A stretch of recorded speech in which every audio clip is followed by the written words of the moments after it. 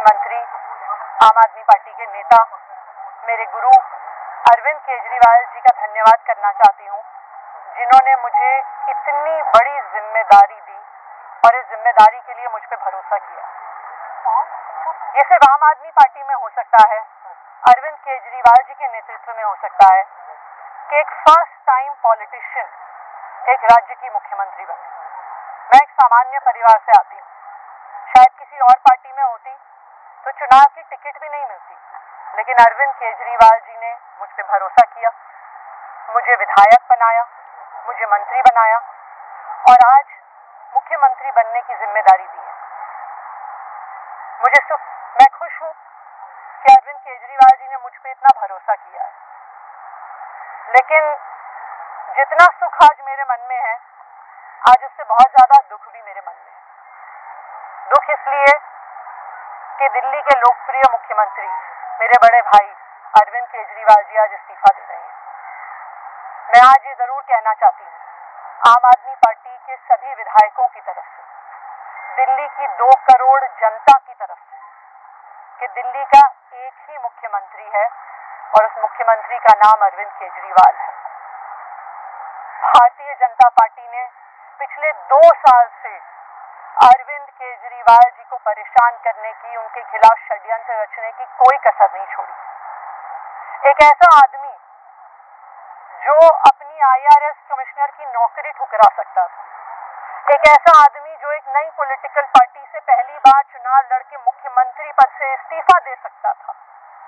ऐसे आदमी पर, ऐसे ईमानदार आदमी पर भारतीय जनता पार्टी ने भ्रष्टाचार के आरोप लगाए।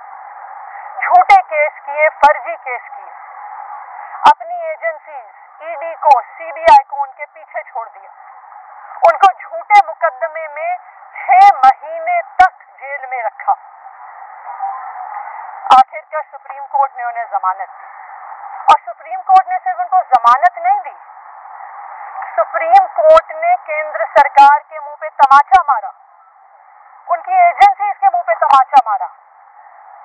उन्होंने कहा कि इनकी एजेंसीज, केंद्र सरकार की एजेंसीज एक किंजरे में कैद कैद तोते की तरह हैं। और अरविंद केजरीवाल जी की गिरफ्तारी गलत थी। अगर अरविंद केजरीवाल जी की जगह कोई और मुख्यमंत्री होता, कोई और नेता होता तो वो दो मिनट नहीं सोचता मुख्यमंत्री की कुर्सी पे बैठने के बारे में। लेकिन अरविंद केजरीवाल जी ने वो किया जो आज तक इस देश का इतिहास तो छोड़िए शायद दुनिया के इतिहास में किसी नेता ने ना किया हो। उन्होंने कहा कि मेरे लिए सिर्फ़ सुप्रीम कोर्ट का फैसला काफ़ी नहीं है। मैं जनता की अदालत में जाऊँगा। जब दिल्ली की जनता मुझे कहेगी कि हम तुम्हें मुख्यमंत्री के रूप में देखना चाहते हैं, जब दिल्ली की जनता कहेगी कि तुम ईमानदार हो, तब मैं मुख्यमंत्री की कुर्सी पे बैठूँगा।